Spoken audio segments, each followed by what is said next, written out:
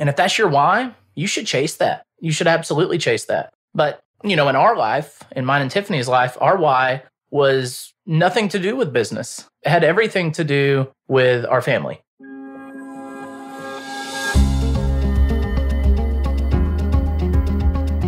Welcome to the On Purpose Investor Podcast with your host, Eric and Tiffany Vogel. We spent several hard years building a rental property portfolio so we could have more time with our family and live our ideal life. Finding your path can be difficult, so we're here to help guide you along the way with lessons, tips, and tricks to design and implement your dream life through real estate investing. Now sit back, turn up the volume, and get ready for this episode of the On Purpose Investor.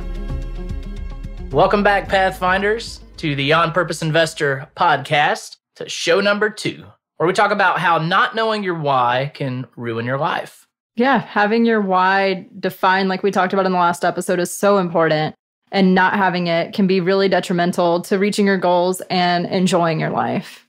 You want to wake up every morning excited to live your life, whether it's a Monday or a Friday. And having that dread when you wake up in the morning is probably a sign that you need to change something. Right. I want to talk today a little bit about a passionate W 2 and a practical W 2. And when I say a passionate W 2, I'm talking about your income. your W 2 in our world, uh, in our little circle, Tiffany and I, we often refer to our jobs as a W 2. And a passion W 2 is one where you're not really working for the paycheck. You go to work because you absolutely love what you do and money just does not matter to you. And a practical W 2 is one where you may not be as passionate about it, or you might be passionate about it, but you're really in it for the big bucks or you're in it for sustainment of some sort. So when we're relating how not knowing your why can ruin your life to a passion W 2 or a practical W 2, does your W 2, does your job get you closer or further away from your why? If you are in a passion W 2, if you're in a job that you absolutely love and you need the income, but the income is insignificant to how happy that job makes you, then your job is in alignment with your why. It is quite possible that that job is getting you closer to your why. If you're in a practical W 2 and you don't like Mondays, you don't like going to work, there is probably a good chance that the income that that money brings in can get you closer to your why, but not necessarily the headspace that that job puts you in. There's a good chance that's not getting you closer to your why. So, how do we align our jobs with getting us closer to our why in life. Yeah, I know a lot of people were in real estate working a completely unrelated job, but started to pursue some kind of career in real estate, whether it was going to become an agent or flipping houses or really anything that they could take on as their main job that they were doing that was giving them the skill sets they needed to pursue their dream through real estate, for example. So it's finding a job that gives you the skill sets and the mindset and all the the things you need to reach your why. While we were building our real estate career, a lot of my coworkers were busy building their W2 life and that was the path they were on and enjoyed and they were traveling 6 days a week, a lot of times working 60, 70 hours. So for them, there was no time to really invest in a passion project or side hustle or anything like that. I was probably working the same amount of hours, but I was busy building a life for us outside of my regular job. My job was very much a practical W 2. I enjoyed it, but it was a means to the end financially to get us where we needed to be. Right. And, you know, in all fairness, there are some people in those practical W 2s that are in the grind, they are hustling, and their why in life is likely to be the most senior person in what they do.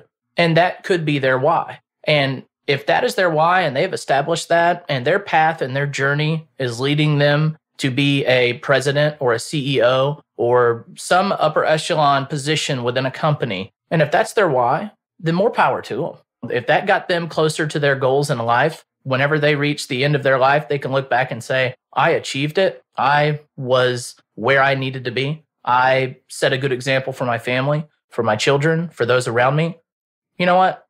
Kudos to them because that's what this is all about. And if that's your why, you should chase that. You should absolutely chase that. But, you know, in our life, in mine and Tiffany's life, our why was nothing to do with business. It had everything to do with our family. And it was truly motivated with a sense of where do we want our life to be when our family is at X position? When our children are 10 and under, what do we want to be doing daily? When we are kids are not in the house anymore, where do we want to be? Where do we want our children to be? Where would we like for our children to be? Those are determining factors of where we wanted to be headed. Yeah, our big focus with the On Purpose Investor podcast is to just be on purpose. If going, like Eric said, to be a top level in a company is really your purpose in life and where you want to be, that's fantastic to be climbing the corporate ladder. But if your if your purpose in life, if you want to be home with your family more, but you're working insane hours for a job and not pursuing that purposeful life, that's where we want people to focus and redesign their life to fit that purpose and to avoid facing something like a midlife crisis where you wake up one day and realize the things that you have are not what you wanted out of life. Intentionality is our mission for people to look at their life with a high sense of intentionality. Can you say you wake up with a purpose every morning that every decision you make that day is getting you one step closer to your goals? And do those goals align with your why? So many people give up on their dreams early in their adulthood, we'll say, because they get busy with marriage and a house and kids and all of the things. And that's where that midlife crisis comes in. And I that's the big thing I want to avoid for us. I want to to live our full purposeful life now in our 30s instead of waking up in our 50s or 60s wondering where did life take this turn? How did this happen? You just kind of sleepwalk through life and then wake up one day and realize your kids are grown and you missed tea parties with your daughter or playing ball in the backyard with your son because you were chasing the wrong dream. Right. That leads me into our, our next uh, talking point, and that is driven by a quote from the great late Yogi Berra. If you don't know where you're going, you'll end up someplace else. And that is so true with, with anything you do in life. If you get in the car and you have no idea where you wanted to be, you'll probably end up someplace wrong. There's a slight chance you might end up where you wanted to go. Like get in the car, I want to go to the grocery store, but if you don't punch that in your GPS and you're in a new town, you're probably going to end up at a different place. So, one quote that we love to reference when talking to people about goal setting is about the airplane that takes off and they have a oh. destination in mind. And the pilot gets in the pilot seat and they punch it in. And unfortunately, something goes wrong and they end up flying off course by one degree. Problem is, they're flying halfway across the world. And one degree traveling that many miles, they're not just going to miss their airport, they're going to miss their entire country and quite possibly their continent. And that is so true in our lives as well. If we start heading in a direction and we're not very sure about where we're headed, you're likely going to miss your target.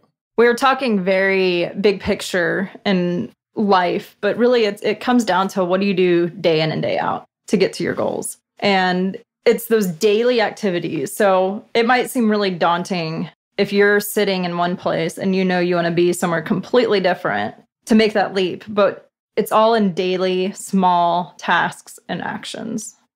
Very true. One little uh, exercise that I did early on was something driven by Tiffany. Uh, she said, Eric, what are you going to do today? I was like, well, oh, I'd like to accomplish these things.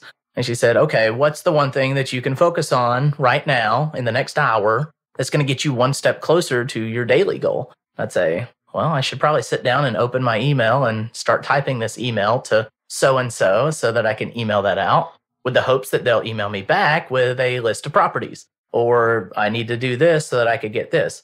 In my mind, I was just looking at all of the tasks that needed to be completed for the day instead of breaking it down one by one and achieving each little goal. Yeah. And going back to what we referenced in the last podcast, that was the one thing principle. And they have a great system of taking your someday goals and breaking them down into five year, one year, quarterly, monthly, and then you break it down into your week. And what is the one thing you have to do? One thing that's the key. One thing you have to do this week to reach your goal. And then you take that and break it down to the day. And then what's the one thing I can do this hour that will help me reach that goal? So I know it may seem very daunting what we're talking about, but it's really, it's just small steps, one at a time. And by taking that small step, you'll be a step closer to reaching a goal in a life that's purposeful and what you you want to experience. Yeah, if you're finding yourself being unintentional with your time, it's easy to look back and say, What did I do today? Not really sure what I did. And when I was thinking about what I would say during this, I, I got to thinking about what was my life like before I met Tiffany. And what that was like was at tax return time when I would get my W 9 and I'd give it to the, the folks at Jackson Hewitt or H&R Block. They'd put on, on the form, oh, you made X amount of money this year. And I would just sit there and kind of chuckle at myself and say, there's no way I made that much money this year, which wasn't a lot. I was a high school teacher, but it was a lot. And I had nothing to show for it. I had no clue what I spent my money on. Sure, some of it went toward a rent or a house payment or a car payment, but I was so unintentional with what I was spending my money on. And I wasn't tracking it. So I couldn't remember what I spent my money on. And it's so incredibly applicable to our time. When you look back, the great rent song, 525,600 minutes, how do you measure a year? And that's how many minutes are in a year. And if you tracked every single one of those minutes, how many of those minutes would you say were spent getting you closer to your why? I can tell you this before Tiffany and I went on this journey together, I was incredibly unintentional with my time, just as I was with my money. And when I sat down and said, I've got to get more intentional about this, I've got to make sure that at least five minutes of my day is spent in alignment with what I want the rest of my life to be. Or else I'm going to get to the end of my life and see that nothing was in alignment and I'm not anywhere close to where I wanted to be. I did a similar thing. I was reaching after uh, climbing the corporate ladder without any real intention or goal in that. It just, I was told to go to school, get a good job. I went on to grad school and did what I thought I was supposed to do. But it wasn't really what I guess I wanted out of life. I never sat down and thought, big picture, if I could have anything I wanted, what would that look like? So I was chasing goals and pursuing things that didn't really align with my why because I never thought through what my why was. So, how do you figure out what your why is? How did we figure it out? It started with the top 10. Right. And thinking through what a good day and what makes us happy. And then from there, we defined out a vision statement, which we'll talk about in a future episode of what that entails. But it took us a long time, probably a year or two of just dreaming and tweaking. And we both knew we wanted to be home and really, really present for our kids. Would And you say that our top 10 changed of what makes us happy? We've gone back and looked at them, and I think there might be one or two things that changed, but it, for the most part, it's been pretty steady because it was really focused on spending time with friends and family, and that didn't change. We just added a crazy monster to chase around the house and that. She's talking about her son. Yes, he is into everything at a year old. But no, like I think not a lot changed on my list. I don't think a lot changed on yours. No, I will say that sometimes in your top 10, you're probably going to enjoy more than just 10 things. You're probably going to love more than just 10 things. But those 10 things obviously are what guide you to your vision casting. Mm-hmm. And you might replace your top 10, one of your top 10s, with a different item. In mine, let's say that one of my top 10 was that I wanted to build things more, I wanted to do woodworking more. But now I realize that, oh, well, I'm not as passionate about woodworking as I used to be. Now I'm far more passionate about, let's say, exercising. And now exercising is way more important to me than woodworking was. And so I'm going to switch woodworking with exercising and make sure that the time that I'm spending during my day that I can hit one of those items, that I can hit that exercising bullet. Because like we said with intentionality, that top 10 list is going to guide you on how you spend your days. That top 10 list is going to guide you on how to cast your vision. It's very important that you visit your top 10 and say, do these things still matter to me as much as they did when I casted them? So, in reaching goals, Tiffany was talking about she was reaching goals, but they weren't goals that got her closer to her why. And we have friends that have good goals and they reach their goals and, and we see them achieve their goals on and on again. And sometimes it's easy to reach your goal, but not exactly take the time to enjoy what you have achieved. Yeah, and that's something we've really struggled with. We hit our target and our goal, but we were still hustling. And we traded these great jobs that worked. Well, I worked 40 hours a week. You worked an insane amount of time as a high school band director, but our hustle took more time than our jobs did. And after having the baby, we really had to ramp things down and adjust and start to enjoy the freedom that we have because that's what we worked hard for. We were continuing the the hustle and working harder than we did when we had our jobs to pursue nothing really. I mean, we were just continuing on the path, but it was we needed to stop, smell the roses, and enjoy everything we had built, and that we we achieved our goals. Right. One of our other goals was financial freedom. Now, just because you're financially free doesn't mean you're filthy rich. It doesn't mean you're rich in any sense. It just means that, you know, you've met your monthly nut, as Gary Johnston likes to say. You can pay your bills. There is fat fire, financial independence, retire early. A fat fire is where you have excess and skinny fire is where, you know, you're you're paying your bills. You're good. And I would say that we found a comfortable life somewhere a little after skinny fire, uh, not quite fat fire, but we found comfortability. And one thing that took us to get to where we are was an extreme sense of frugality.